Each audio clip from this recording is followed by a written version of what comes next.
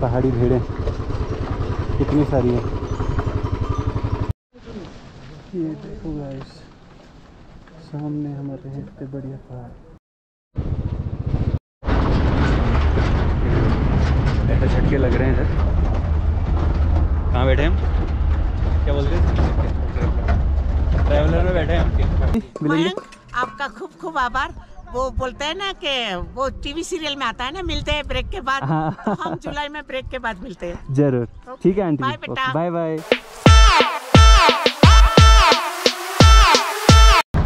Hello guys आज कर रहे हैं हम अपनी जर्नी शुरू। बुलेट हो चुकी है पूरी पैक तो हमने कल इसमें लगवा लिया था कैरियर अब हमें यहाँ पे एक तरफ़ आएगा पहला बैग दूसरी तरफ़ आएगा दूसरा बैग तो बाइक हो चुकी है रेडी अब करते हैं पैकिंग शुरू।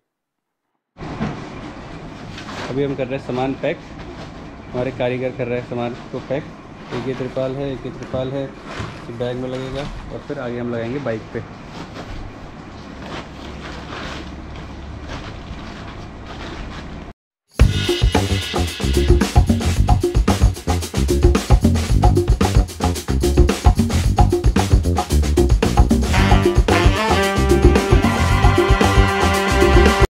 यहाँ चल रही है बारहवीं की शरारतें। बारहवीं? क्या कर रहे हो किसके शूज़ पहने हैं? किसके हैं? हैं? किसके हैं ये? शूज़ किसके हैं? वो। ये खा रहे हैं लॉलीपॉप आराम से। तो बाइक हो चुकी है रेडी बाइक में सामान डल चुका है। दो बैग है। एक बैग ये है। एक बैग ये है। और थोड़ा बहुत ऐसे ही कि फ़ोन का स्टैंड लगवाया है। गद्दी चेंज कराई है, कल करियर लगवाया तो बाइक पूरी लोड हो चुकी है। अब थोड़ी देर में एक बार निकलेंगे। सोच रहे एक बार रॉयल इनफील्ड में चेक करा ले सब कुछ ठीक है कि नहीं है। फिर आगे की जर्नी कंटिन्यू करेंगे। तो अब आपको दिखाते हैं आगे। तो अब चलते हैं आगे की तरफ़। पापा को करते हैं बाय और अब हमें निकलना है बहुत दूर, जाना है पिथौरागढ़। और फ़ोन को लगा दिया है फ़ोन पे लगा दिया है मैप यहाँ पे दिखा रहा है कुछ साढ़े पाँच से छः घंटे में हम पहुँच जाएँगे। अभी बज रहा है बारह तो अगर हम देखें अप्रोक्स तो छः से सात बजे तक हम वहाँ पहुँच जाने चाहिए। तो अभी मैं हूँ अपनी कॉलोनी में, यह है हमारी कॉलोनी और यहाँ से निकलेंगे तो फिर हम सोच रहे हैं पेट्रोल पंप पे एक बार तेल भरा लें, यहीं से फुल टैंक करके चलें, क्योंकि बाद में रिस्क नहीं लेना। तो अभी बस हम निकल रहे हैं मैप को कर दिया स्टार्ट और अब करते हैं पावर ऑन जय भोलेनाथ, अच्छे से हमारी राइड हो जाए। कॉलोनी यह है हमारी साइड में उगरी के झाड़, इसके बगल में है फ़ील्ड जो भी थोड़ा अंडर कंस्ट्रक्शन है, बन जाएगा तो काफ़ी अच्छा पार्क लगेगा। तो ये है मेरी कॉलोनी की गली। अब बस हम निकल गए हैं। अगली हमारी स्टॉपेज होगी पेट्रोल पंप चलो वहाँ मिलते हैं।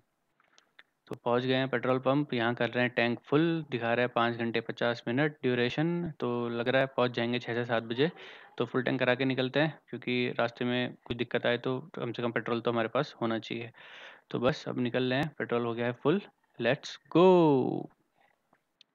यह है हल्द्वानी की मंडी तो हम जा रहे हैं मंडी के रास्ते होते हुए गोलापार गोलापार से फिर चोरगलिया, फिर वहाँ से खटीमा, टनकपुर होते हुए पिथौरागढ़।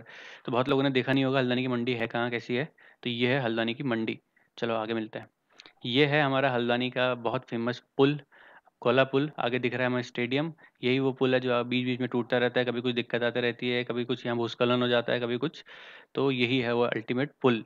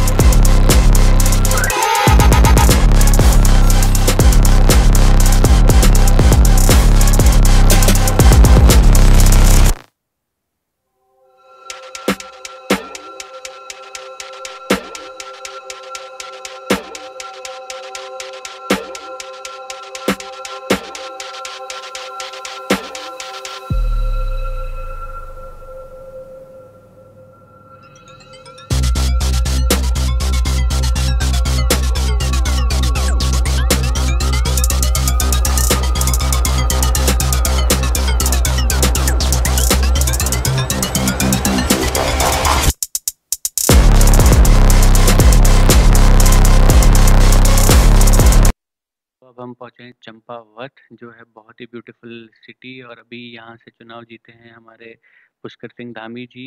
यही वो शहर है जहाँ से इंडियन आइडल निकला है, जिनका नाम है पवनदीप राजन। तो ये है हमारा चंपावत ये है चंपावत की पूरी मार्केट। काफ़ी अच्छे से स्प्रेड हुई हुई मार्केट और सारी चीज़ें जो आपको चाहिए वो यहाँ पे मिल सकती है। यहाँ पे हमने खाए लजीज के यहाँ मोमो, जो कि बहुत ही बेकार थे। चलो आगे चलते हैं। यह हम पहुँचे लोहा घाट लोहा घाट भी अपने में बहुत ही प्यारी जगह है। ये सब जगह पूरी बर्फ़ से घिरी रहती हैं जब विंटर्स में। और व्यू तो यहाँ से क्या बताऊँ, क्या गजब व्यूज़ है। ये है चंपावत के बाद।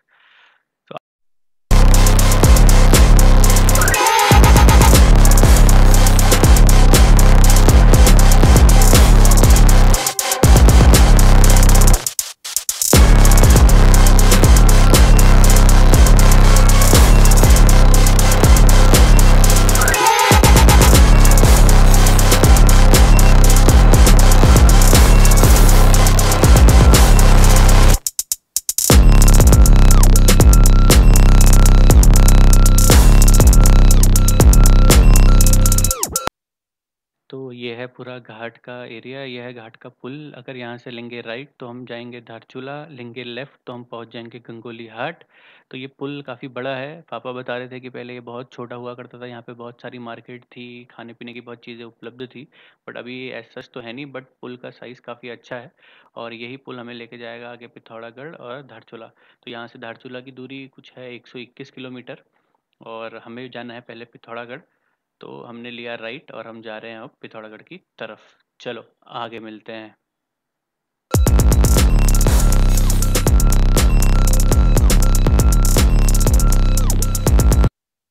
दिख रहा है हमें एसबीआई का एटीएम। अब यहाँ से निकाल लें थोड़ा कैश ये है हमारी पिथौरागढ़ सिटी क्या प्यारी सिटी है? आप देख सकते हो पूरे लेफ़्ट में इतने बड़े बड़े घर बने हैं।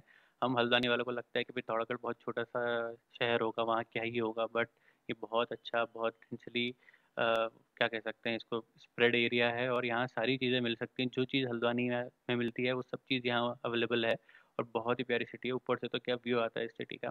तो पिथौरागढ़ बहुत अच्छी जगह है। उसके बाद हम आगे निकले तो हमें मिली पार्किंग ये है बहुत बढ़िया पार्किंग मतलब पिथौरागढ़ को हम कह सकते हैं पूरी प्लान सिटी है। काश ऐसी पार्किंग नैनीताल में भी होती तो ऐसा जाम नहीं लगता। खैर, रानीबाग में बन रही है तो बनेगी मतलब। टाइम लगेगा बट बनेगी। उसके बाद हम रुके होटल सन व्यू में। ये सन व्यू से था हमारा व्यू। तो रात हो गई थी पहुँचते पहुँचते तो हमें लगा टाइम उसके बाद हम गए रूम में। ये है हमारे रूम का टूर तो ये यहाँ एक बेड दिया है, एक छोटा अलग से बेड दिया है। वॉशरूम है कबर्ड दी हैं और आठ सौ रुपये हमने इसके चार्ज लिए उनने हमसे। तो ठीक था, टीवी था और बाकी क्या चाहिए सबसे ऊपर था तो वहाँ से व्यू थोड़ा अच्छा था। तो ये था पूरा वहाँ से व्यू रात के टाइम में। और यहीं हम स्टे किया, खाना बाहर से खाया और सुबह अगले दिन हम निकले धारचूला की ओर। सुबह के बज रहे हैं पाँच और अब हम निकल रहे हैं पिथौरागढ़ से धारचूला की ओर। यह एक बैग और सब बढ़ते आगे। ये था हमारा रूम। यहाँ से व्यू था कुछ ऐसा।